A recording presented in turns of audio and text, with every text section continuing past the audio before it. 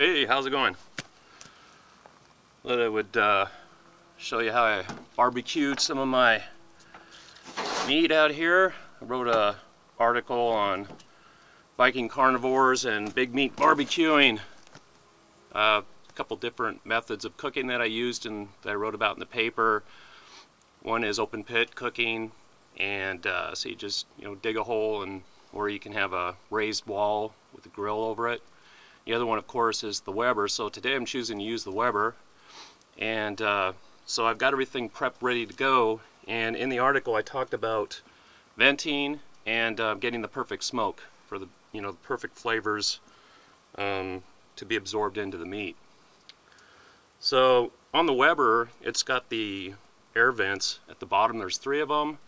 And when I first started, I had them fully open. So there's a lot of air coming up and as you burn the heat rises and then I had my vents on top open fully. Right now they're open uh, just just about an eighth of an inch you know so I'm trying to get it well heated in there. The brisket that I threw that's the choice meat I threw on here today was uh, frozen so um, I had to cook it a little bit slow. Now I'm searing on one side uh, where the fat layer is and on the other side, I'm cooking it kind of slow, so it uh, gets all the flavors in there.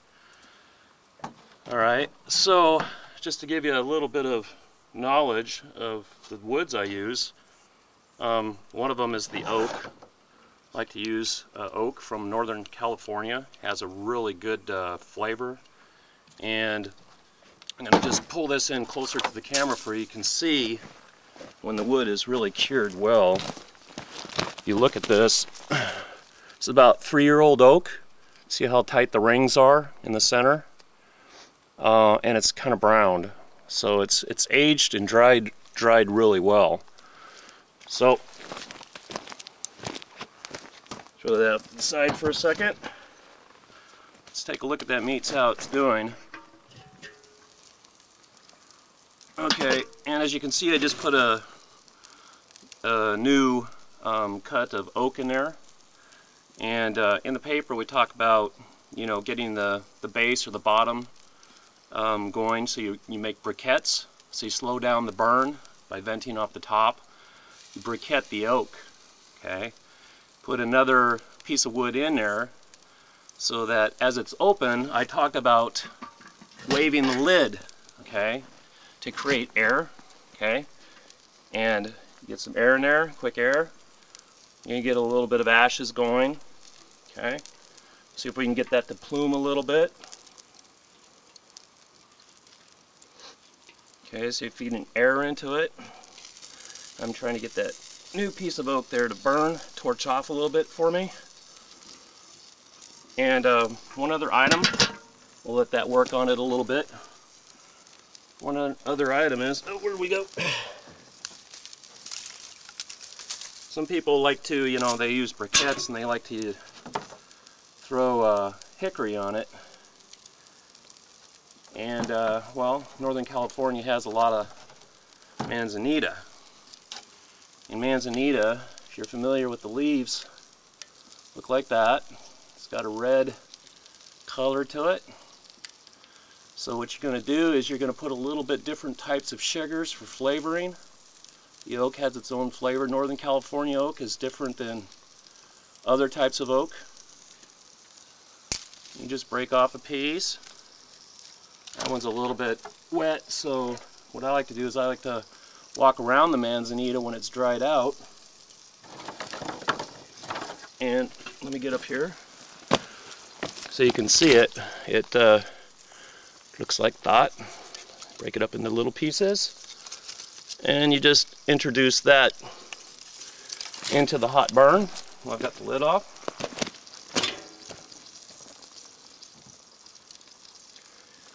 And one thing you want to have is get a glove.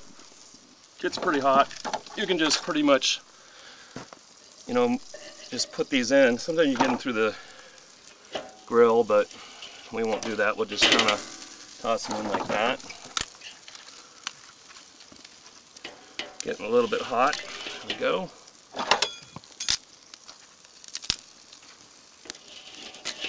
Okay. And you notice that the meat is off to the side and the direct flame is just to your the right of you viewing the meat here. So it's an indirect cooking um, method. I've talked about that too. A lot of people make the mistake of putting their meat right over the flame. They burn the meat. Cooks too fast and it removes the uh, moisture from the meat and you want to try to retain as much much of the juices as you can. Okay, so now that it's flaming pretty good, you can see the oak's on fire, the manzanita's on fire on the bottom. We're going to give it a quick wave and really just get it to heat up here.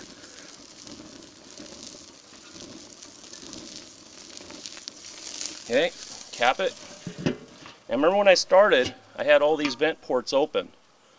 Okay, now everything's closed. Okay, you can just see it starting to plume. Okay, now you're going to see it get really thick. Talked about the thickness of the smoke. Talked about the atmospheric conditions.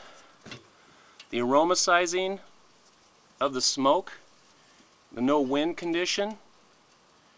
And in time, if I had a big enough of a fire and I had this thing really cooking, you know, if I was cooking for a lot of people, this thing would be smoking really bad. You wouldn't be able to see me.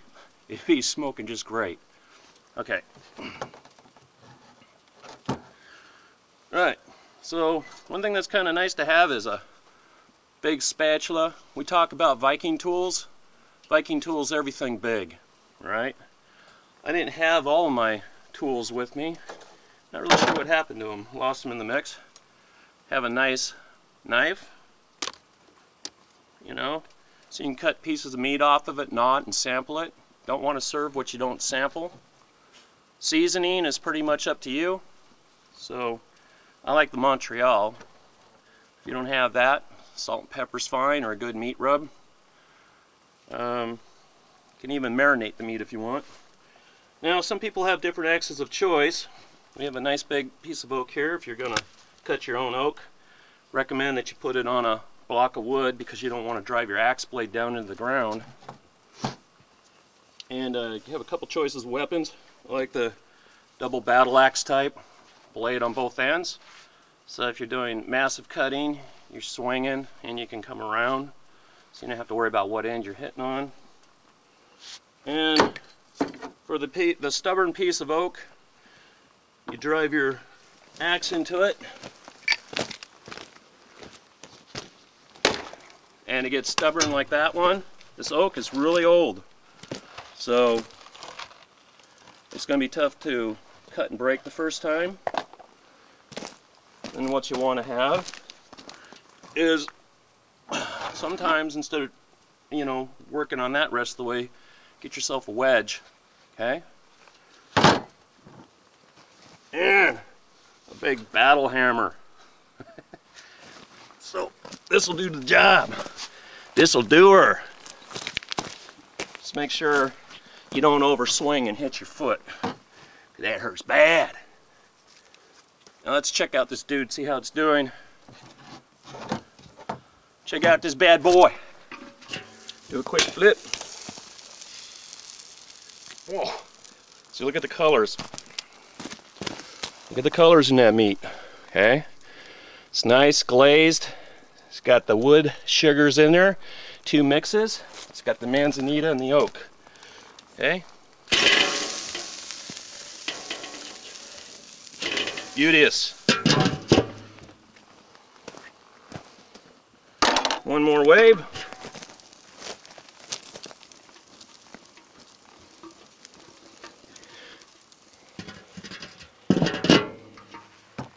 And I say good day to you and have a good grog. Arrgh!